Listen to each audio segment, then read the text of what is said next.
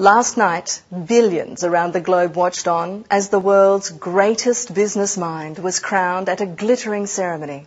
Greg Marsden has more. That's right, Deanne. 4,000 business legends, celebrities, entertainers and political leaders from around the globe filed into the Hilton Hotel for a night of glamour, tension and high excitement. Today, this is the name on everyone's lips. Greg, were the experts expecting this result? Very much so, Deanne. I'm told this was the shortest priced winner in the award's 98 year history, and the decision was unanimous.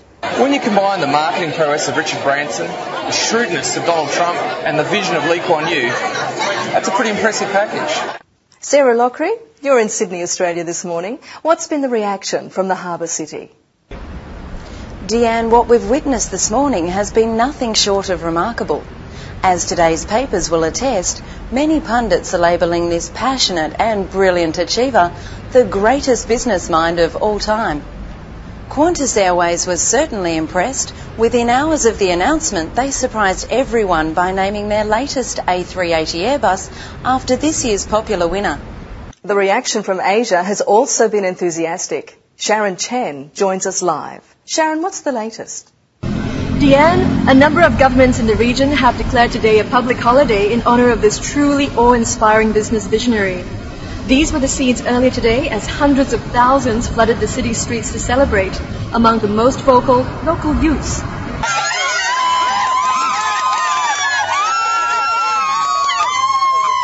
We need someone to look up to and emulate, and I can't think of a better role model for our generation, yeah! Over at the National Stadium, a crowd estimated at more than 40,000 gathered to pay homage to the one they say embodies all that is good in the international business community. The announcement of this year's winner has had a powerful impact on leaders in the Middle East. Speculation is mounting. This year's world's greatest business mind will be putting their formidable negotiation skills honed across the boardroom table to work, brokering a long overdue peace deal. العربية والإسلامية بألف خير وكل عام وشعبنا الفلسطيني بألف خير نرجو الله سبحانه وتعالى أن يعيده علينا ونحن في أحسن حال One businessman who has had close associations with this year's winner is the Message Group's executive chairman, Kim Illman. When I heard the announcement on the radio this morning, I tell you I cried. I wept like a baby. I'm just so very proud to say that we at the Message Group have had an opportunity to work with this transformational business guru, this Svengali of innovation, this leader of leaders. Is this live? It is. Great. If you're watching, I'm your biggest fan.